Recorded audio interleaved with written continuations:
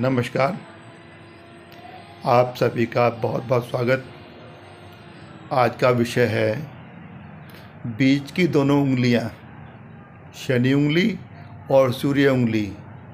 उनका हथेली से जुड़ाव थोड़ा ऊपर से हो मतलब वो हाई सेट हो हथेली पर। एक कर्म में ना हो, कर्म में होना शुभ होता है। एक आर्च फिंगर सेटिंग बनती है। लेकिन अगर ये हाई सेट हो तो एक टेंट शेप्ड फिंगर सेटिंग बनती है।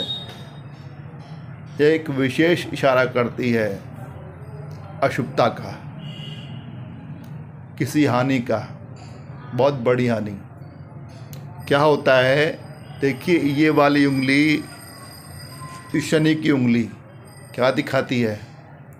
भाग्य, धन। और ये जो उंगली है, अनामिका सूर्य की उंगली, ये क्या दिखाती है? यश मान सम्मान सफलता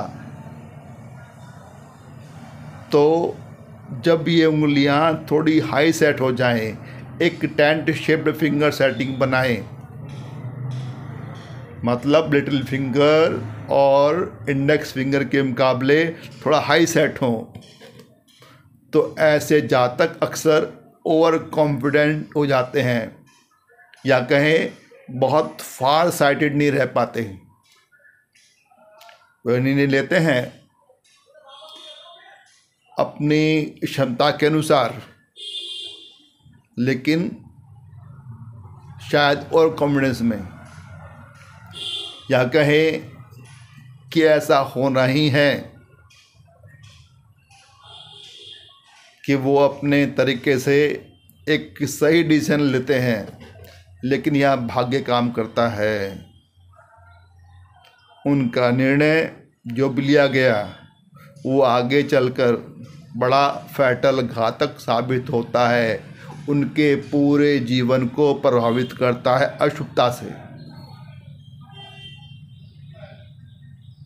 अब जातक के पास कोई ऑप्शन है ही नहीं, बस रिग्रेट करेगा, पछताएगा और सोचता रहेगा कि काश उसने उस समय ऐसा निर्णय ना लिया होता। जो निर्णय लिया गया, उससे ना तो सफलता मिली, ना ही यश मान में वृद्धि हुई, ना ही लाभ हुआ, धन लाभ हुआ। उल्टे अपयश हो सकता है, धन की हानि हो सकती है। लेकिन अब पछताए क्या हो तो जब चिड़िया चुग गई खेत। अब पछताने के अलावा कोई रास्ता नहीं बचता। जातक योग्य है, समझदार है, फिर भी ऐसा निर्णय हो जाता है कि बाद में बड़ा ही नुकसानदेह साबित होता है।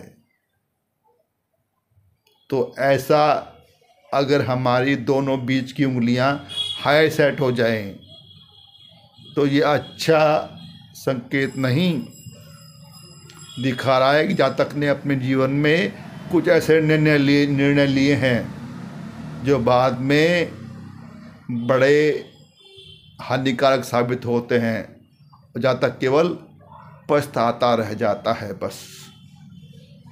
तो ये कुछ छोटा सा तथ्य था हाई सेटिंग के बारे में। आशा करता हूँ आपका ज्ञान अर्जन ज़रूर करेगा। वीडियो देखने के लिए आपका बहुत बहुत धन्यवाद। Thank you. शुक्रिया।